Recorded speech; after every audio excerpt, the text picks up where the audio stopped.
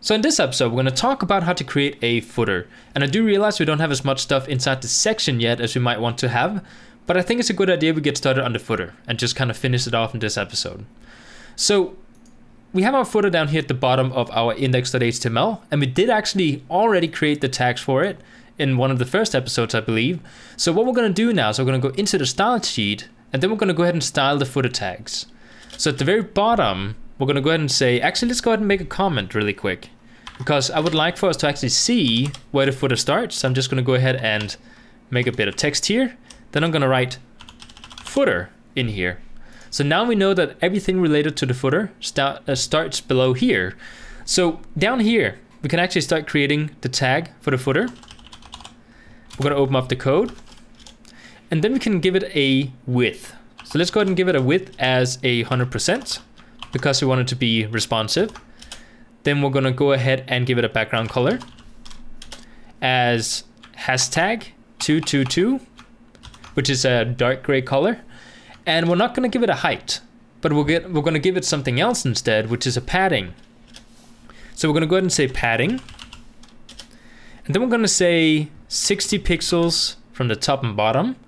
And we're going to say 0 pixels from left and right. So now if I were to go and refresh my browser, what you'll notice is that we do actually get some footer down here. Now, the cool thing about using a padding is that it actually takes it from where the content starts and finishes, and then it builds the padding around that, meaning that right now, if I were to put content inside my website, right now it doesn't have a height yet. Uh, even though we do see some background here, the, the footer does not have a height. But because of the padding, it adds an additional 60 pixels on each side to the height. So right now it's 0 pixels height plus 60 plus 60, which means that we have this much. That also means that if we start putting content inside the footer, it'll actually gonna it's actually gonna start from the middle and not from the top of it, which is kind of nice.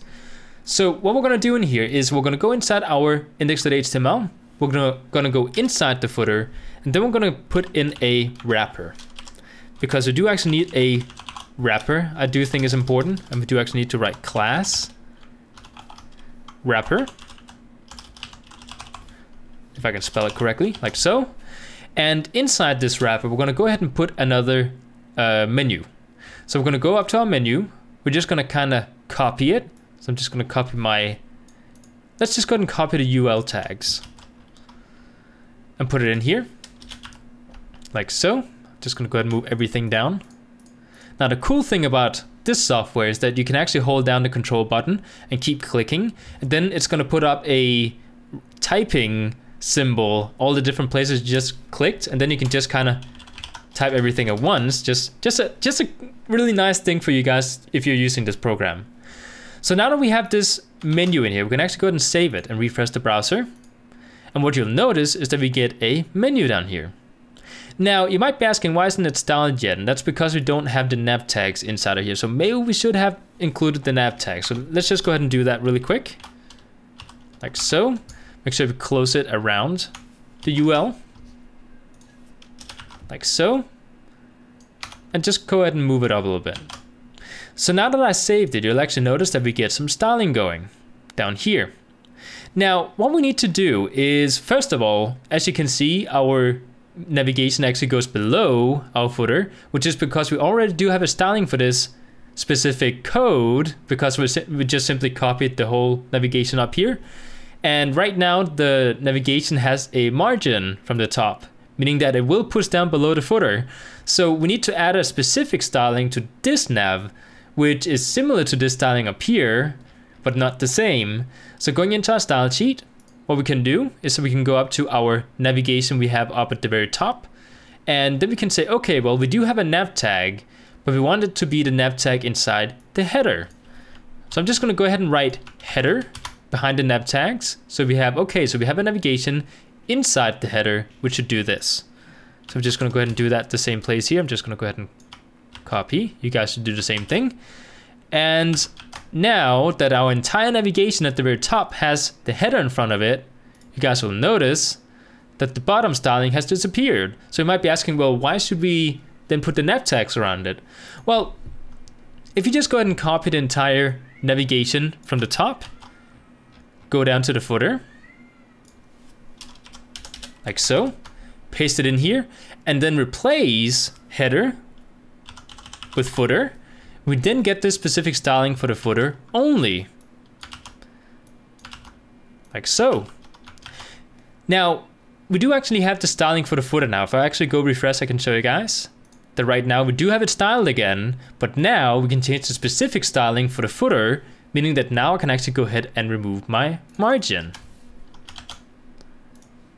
So now the text is going to be up here. Now I would also like for the text color to change into white. So down where we have our color, which should be right.